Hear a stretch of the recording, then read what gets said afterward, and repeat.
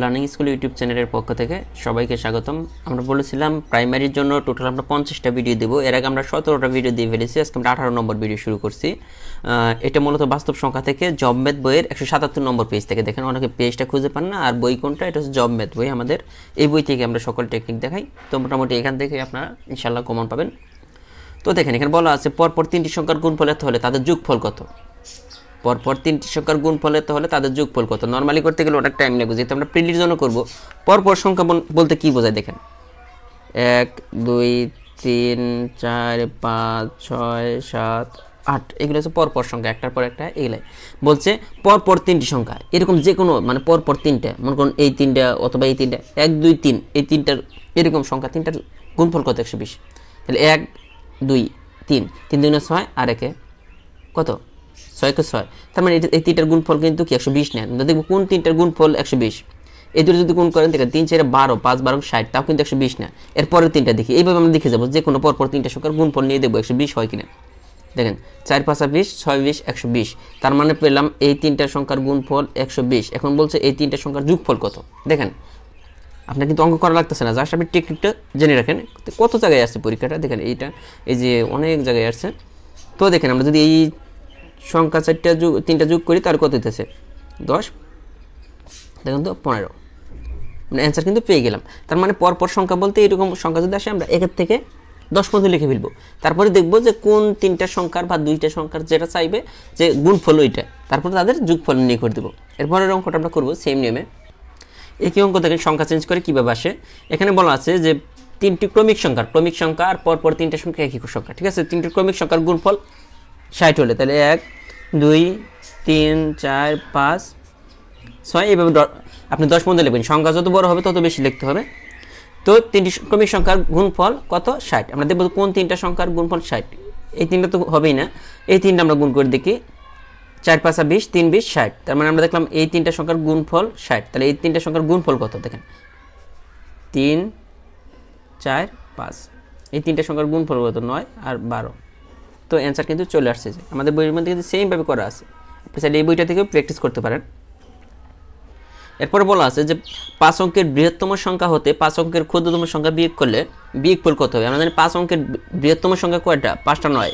এক, দুই, তিন, চার, পাঁচ, পাঁচটা নয়। আর পাঁচ অঙ্কের ক্ষুদ্রতম সংখ্যা কত? এক লেখা চারটা শূন্য। এক লেখা কয়টা শূন্য? চারটা শূন্য। এখন এটার বিয়োগফল চেয়েছে তো এইগুলো সহজ অঙ্ক, দেখেন, নয়? আট, এটা হয়ে গেছে আট হাজার নয়শো নব্বই। এই অঙ্কটা অনেকের কাছে প্রবলেম হয়, যেটা আমি আপনাদেরকে বলতেছি, যেখানে বলা আছে যে, এরপরে যেটা আছে, দেখেন এত দ্বারা গঠিত চার অঙ্কের বৃহত্তম ও ক্ষুদ্রতম সংখ্যার বিয়োগফল হতো এগুলো দ্বারা গঠিত চার অঙ্কের বৃহত্তম সংখ্যা লিখতে হলে বড় থেকে ছোট দিকে সাজাতে হবে, তাহলে সবচেয়ে বড় হচ্ছে তিন, দুই, এক, শূন্য। কিন্তু ক্ষুদ্রতম সংখ্যা লেখার সময় চার অঙ্কের কিন্তু বলছে। আপনি যদি শূন্যটা আগে দেন, তারপরে এক দেন, তারপরে দুই দেন, তিন দেন, তাহলে এটা কিন্তু চার অঙ্কের সংখ্যা এটা তিন অঙ্কের হয়ে যাচ্ছে। এই জন্য অনেকের প্রশ্ন, ভাই, শূন্য আগে কেন দিতেছি না?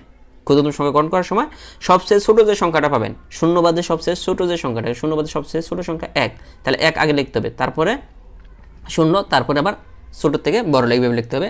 তাহলে এখানে এত দ্বারা গঠিত চার অঙ্কের ক্ষুদ্রতম সংখ্যা এক, শূন্য, দুই, তিন। এখন আমাদের বলছে বিয়োগ ফল কত? তাহলে আমরা বিয়োগ করি। দেখেন সাত, হাতে এক, তিন তিন আছে এগারো হবে কত হলে? আট হলে? হাতে এক এক, এখানে কত? দুই। তো একুশশো সাতাশি, যেমন আমাদের বইয়ের মধ্যে সেমভাবে করে দেওয়া আছে। পরবর্তী যে টেকনিকটা আমরা দেখাবো, দেখেন এই অঙ্কটা নর্মালি আমাদের বই করা আছে কতক্ষণ লেগেছে?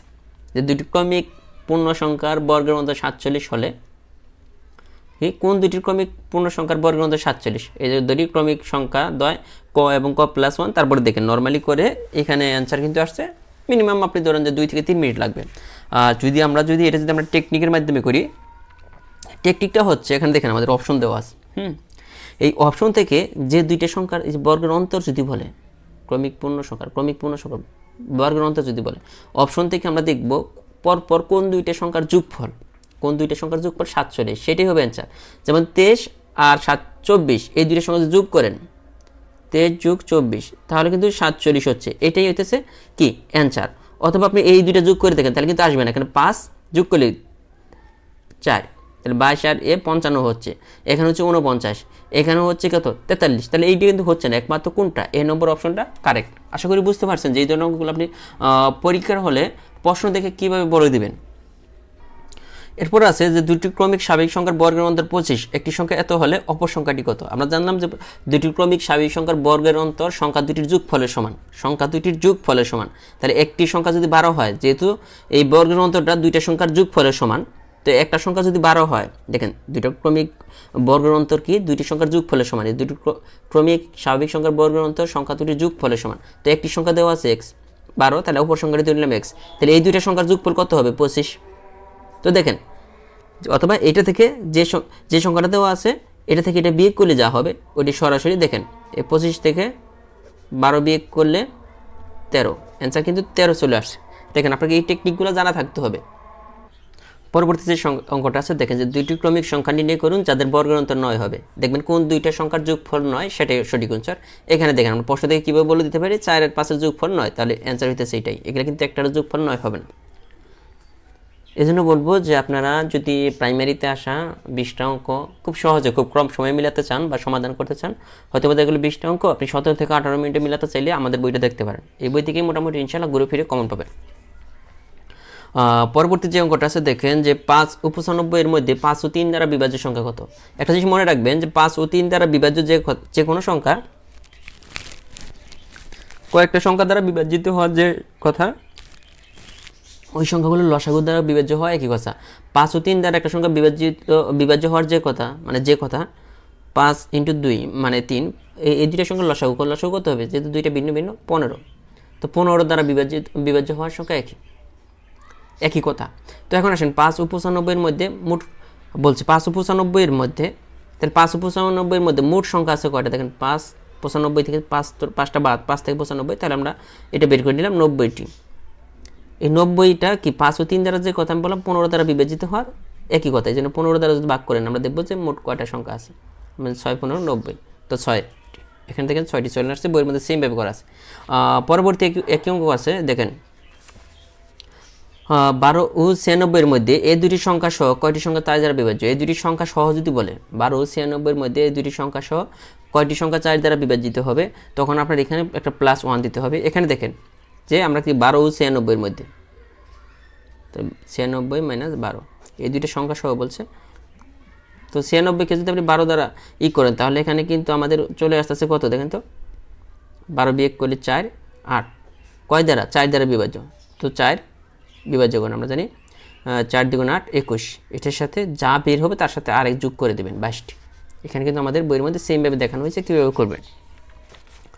পরবর্তী যে অঙ্কটা আছে, দেখেন যে এটাও একটা সহজ অঙ্ক। একটি সংখ্যাকে পঁয়ত্রিশ দিয়ে ভাগ করলে দশ থাকে। যদি ওই সঙ্গে সাত দিয়ে ভাগ করা হয়, তো ভাগশেষ কত থাকবে? এই সংখ্যার হিসাব সহজ। দেখেন, পঁয়ত্রিশ দিয়ে ভাগ করলে, কোন সংখ্যার ভাগ করলে ভাগশেষ দশ থাকে? দেখেন তো, পঁয়ত্রিশ দিয়ে পঁয়ত্রিশ দিয়ে, আমরা জানি যে পঁয়ত্রিশ দিয়ে যদি পঁয়তাল্লিশটা ভাগ করেন, পঁয়ত্রিশ দিয়ে যদি পঁয়তাল্লিশটা ভাগ করি, তাহলে ভাগশেষ কয় থাকে? দশ থাকে। তাই তো? না সরি এখানে পঁয়ত্রিশ হলে ভাগশেষ থাকছে দশ। তাহলে আমরা দেখলাম পঁয়ত্রিশটে পঁয়ত্রিশ দ্বারা পঁয়তাল্লিশকে ভাগ করলে ভাগশেষ দশ থাকে। আমাদের বলছে ওই সঙ্গে সাত দিয়ে ভাগ করলে ভাগশেষ কত হবে? তাহলে পঁয়তাল্লিশকে কয় দ্বারা? দেখেন নর্মালি বুঝে বুঝে যদি করেন আপনি সারা জীবন মন থাকবে। সাত দিয়ে যদি ভাগ করি, ছয় সাতটা কত? বিয়াল্লিশ। তাহলে থাকতেছে ভাগশেষ কত? তিন। এই অ্যান্সার কিন্তু চলে আসছে। আমাদের বইয়ের মধ্যে কিন্তু বুঝিয়ে দেওয়া আছে, একবার ডিটেলস আকার। পরে যে অঙ্কগুলো আছে, এগুলো একটু ক্রিটিক্যাল টাইপের কিন্তু আপনি যদি মনোযোগ দেন, তাহলে বুঝতে পারবেন যে এখানে কি আছে? একটি এন একটি জোড় সংখ্যা হয়, তবে নিচের কোনটি জোর সংখ্যা হতে পারে না? দেখেন এন যদি একটা জোর সংখ্যা হয় এন যদি জোর সংখ্যা হয়, নিচের কোনটি জোড় সংখ্যা হতে পারে না? এগুলো এইভাবে আপনি মনে রাখতে পারবেন, আমি যে টেকনিক দেখাবো এন যেহেতু জোড় সংখ্যা, আমরা জানি জোড় সংখ্যা কোনগুলা? টু ফোর সিক্স এখানে যে কোনো একটা নিয়ে নিন। মনে করেন যে এন এর মান টু যে কোনো একটা নিরই হবে। তো আমরা প্রত্যেক জায়গায় কি? এই এনের মান বসিয়ে দেখব যে কোনটা জোড় সংখ্যা হতে পারে না মানে কোনটা বিজিট হবে। যেমন এ অপশন আছে এন স্কোয়ার তো এনের মান আমরা জানি টু টু স্কোয়ার মানে ফোর তার মানে এটা কিন্তু জোর তো এটা হয়ে গেল, জোর পেয়ে গেলাম। কিন্তু আমাদের বলছে কোনটা জোর হবে না। তাহলে five into n plus two five into n plus two দেখেন তো ফাইভ ইন্টু এন এন এর মান টু টু তো দেখেন তো এখানে কত? ফাইভ ইন্টু ফোর হইতে চার পাশা বিশ। এটাও জোর, আমরা পেয়ে গেলাম। এরপর দেখব এটা এটা জোর হয় কিনা। এখানে দেখেন two n plus two n এর মান কত? টু ধরে নিছি। যে কোনো অঙ্কের ক্ষেত্রে যে কোনো একটা জোর সংখ্যা ধরে নিলেই হবে। এখানে চার, দুই মানে ছয়, এটাও কিন্তু জোর। তাহলে অবশ্যই এটা জোর সংখ্যা হবে না। এর মধ্যে বসিয়ে দেখি। তাহলে তিনটা আমরা জোর পেয়ে গেছি। বলছে একটা জোর না, তাহলে কোনটা হবে না, এটা হবে না।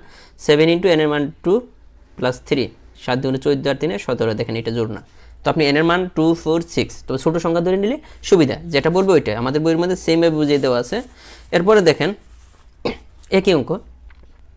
এম ও এন দুটি বিজুর সংখ্যা হলে নিম্নের কোন নিম্নের জোর সংখ্যা কোনটা? বলছে এম ও এন দুইটা বিজুর সংখ্যা। তো আমরা ধরে নিলাম এম এর মান বিজুর সংখ্যা কোনটা? ওয়ান থ্রি ফাইভ যে কোনো দুইটা এম এর মান যে কোনো একটা ধরে নেন এম এর মান ধরে নিলাম ওয়ান আর এন এর মান ধরে নিলাম আমরা থ্রি দুইটা বিজুর সংখ্যা, দুইটা বিজুর সংখ্যা ধরে নিলাম। এম এর মান ধরে নিলাম ওয়ান এন এর মান কত ধরে নিলাম? থ্রি এরপরে দেখব যে এখানে কী কী অপশন আছে। প্রথম আছে এম মাইনাস এন দেখেন m minus n plus one এখানে এম এর মান আর এন এর মান বসিয়ে দেখব যে আমরা যে জোর সংখ্যা হয় কিনা। এম এর মান ধরছি ওয়ান মাইনাস এন এর মান থ্রি প্লাস ওয়ান দেখেন তো? এখানে মাইনাস টু প্লাস ওয়ান তার মানে মাইনাস ওয়ান তো এটা জোর সংখ্যা এটা বিজুর সংখ্যা, এটা হলো না। এরপরে এম এন দেখেন এম ইন্টু এন এম এর মান ওয়ান এন এর মান থ্রি এটা কিন্তু থ্রি এটাও কিন্তু বিজুর দেখেন, আপনার কিন্তু করা লাগতেছে না জাস্ট আপনি টেকনিকটা ফলো করলে হয়ে যাবে। এখানে হইতেছে কত? দেখেন m n plus two m n plus two এখানে এম এর মান ধরছি ওয়ান এন এর মান থ্রি আপনি যে কোনো মান ধরে করতে পারবেন, কিন্তু দুইটাই বিজুর ধরতে হবে, যেহেতু বিজুর বলছে।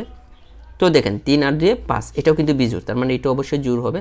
দেখেন এম এর মান ওয়ান এন এর মান কত? থ্রি তাহলে ওয়ান প্লাস থ্রি ফোর এটা কিন্তু জোর সংখ্যা হয়ে গেল। এই ধরনের অঙ্ক কিন্তু আপনারা পরীক্ষার হলে অনেকেই কি, ভুল করেন বা মুখস্থ করেন, মুখস্থ না। দেখেন, কত সহজে আপনি চাইলে মিলাতে পারেন। তারপর একচল্লিশ নম্বর যেটি আছে এন একটা জোর সংখ্যা হয়, তবে নিচের কোনটি জোর সংখ্যা হতে পারে না এটা আপনারা করবেন বা না পারলে এখানে হেড নেবেন।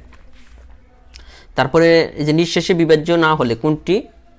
নির্ভুল মানে কোনটি সত্য নিঃশেষ যদি বিবেচনা হয়, এটা আমরা জানি বাহ্যিকাল বাজক ইন্টু বাঘফল যোগ বাঘশেষ বাহ্যিকাল বাজক ইন্টু বাঘফল এখানে সবগুলা সম্পর্কে দেওয়া আছে। কেউ বুঝতে অসুবিধা হলে ওখান থেকে দেখে নেবে। এরপরে এটা তো দেখানোর কিছু নেই, ওইখান থেকে চলে আসছে। এরপরে দেখাবো এই বাজক সংখ্যা নির্ণয়ের অঙ্ক, অনেক চাকরির পরীক্ষা আসে। এটা দেখব যে বাজক সংখ্যা নির্ণয়ের অঙ্কগুলো আপনি কীভাবে করবেন। দেখেন, এখানে বলছে যে বাহাত্তর সংখ্যাটির মোট বাজক সংখ্যা কত? এটা বের করতে হলে প্রথমে এটারকে উৎপাদক বিশ্লেষণ দেখেন এটাকে আপনার প্রথমে ফ্যাক্টরাইজেশন করতে হবে। এখানে জানেন ছত্রিশ দুগুণে বাহাত্তর, দেখব সব- সবচেয়ে কম আঠারো, দুই দিলে নাইন তিনটা দিলে তিন তিরিকা নয়। এটা করার পর আপনি কি করবেন? দেখেন, এখানে আমরা প্রত্যেকটাই গুণ করব। Two into two into two three into three তার মানে আমরা লিখতে পারি টু কিউব আর এখানে লিখতে পারি থ্রি স্কোয়ার এরপরে আমাদের বাচক সংখ্যা হবে কোনটা? এই যে এখানে যে পাওয়ার আছে পাওয়ারের সাথে এক যোগ করবেন। থ্রি ইন্টু ওয়ান এখানে যে য- যতগুলো থাকবে এরকম, প্রত্যেকটা পাওয়ারের সাথে এক যোগ করবেন। কোন পাওয়ারের সাথে? এখানে থ্রি আছে। থ্রির সাথে এক যোগ করবেন। এখানে সেমভাবে গুণ চিহ্ন দিয়ে এখানে যে টু আছে পাওয়ার টুর সাথে এক যোগ করবেন। যোগ করার পরে যে গুণফল হবে, ওইটা হবে বাজক সংখ্যা। এখানে দেখেন ফোর ইন্টু থ্রি এখানে বারোটি। সেমভাবে যে কোনো অঙ্কর ক্ষেত্রে এটা চলে আসবে। আমাদের বইয়ের মধ্যে একদম ডিটেলস আকার দেওয়া আছে। তো এখান থেকে আপনি দেখে নিতে পারেন। এরপর আমাদের লাস্ট যে অঙ্কটা আছে, তো এটাই মনে হয় লাস্ট এই অধ্যায়ের। এরপর আমরা অন্য অধ্যায় করব। তো এখানে দেখেন কি বলা আছে লাস্ট অঙ্কটাতে। তো এই অঙ্কটা বোঝাবো মোস্ট ইম্পর্টেন্ট একটা অঙ্ক। তার আগে আমরা বলে দিই যে আমাদের এই জব ম্যাথ বইটা থেকে যদি আপনার প্রাইমারি জন্য প্রিপারেশন নেন, আপনারা নিজে নিজেরা বুঝতে পারতেছেন যে কতটা ইফেক্টিভ হবে, এটা নিয়ে আর বলার কিছু নেই। আর অনেকের প্রশ্ন বা ইংলিশের জন্য কি করব? ইংলিশের জন্য আমাদের একটা বই আছে, যেটা হচ্ছে জব ইংলিশ বই। তো ওই থেকে আমরা মূলত ইংলিশের ভিডিওগুলো করে থাকি। আমাদের এই চ্যানেলে আপলোড দেওয়া হয় যে সকল টেকনিক দেখানো হয়। আর ইংলিশ বাদে বাকি সকল সাবজেক্টের জন্য আমাদের যে বই, এটা হচ্ছে জব ডাইজেস্ট এই একটা বই থেকে প্রাইমারিতে চল্লিশ মার্কের কোশ্চেন হবে।